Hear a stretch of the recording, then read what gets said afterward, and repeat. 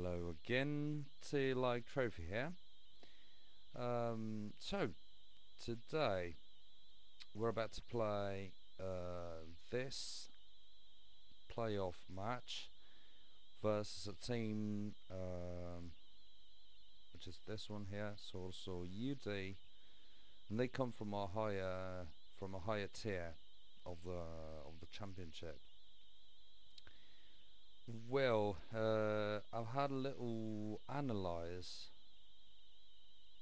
of their team, and it's here. So, this is their lineup. This was the their very last lineup. Problem is that their talent is way higher, higher than ours, and their experience is is higher not way higher because as you can see there are somewhat young players. Not these of course in the midfield but the, but the striker apparently is quite unexperienced. This one as well.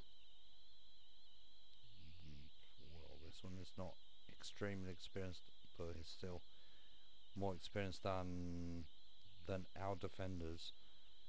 Then we've got yeah very experienced players. Point nine. It's yeah they've got very quite a high amount of experience. So they're more experienced, not extremely, but they're more experienced.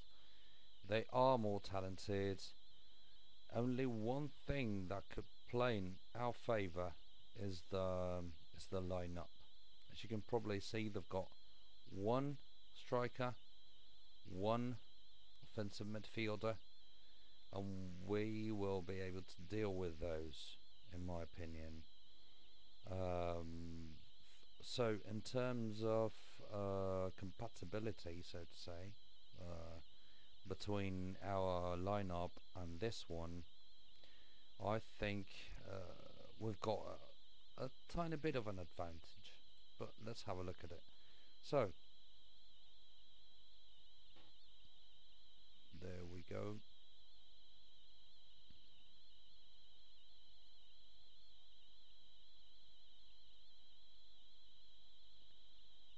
So here we are. Well, uh, nobody was disqualified last time apparently, which is good news already our best left uh, left back is injured. So we're not going to be able to deploy him. So what we can do here is just having a look basically. Because this one more midfielder tactic paid off. So I think we'll try to to confront the opponents with this kind of tactics. And hopefully we'll be able to win. In my opinion we are not to be honest but uh, yeah. Never say never. So uh, let's see if we can change anything but in my opinion this is the best possible lineup for for this match. Yes everybody in their own in their own appropriate spots. So yeah. I think uh, this is all for today guys. Hope with me that uh, this this match will be winning will be a winning one. Another one. So yeah.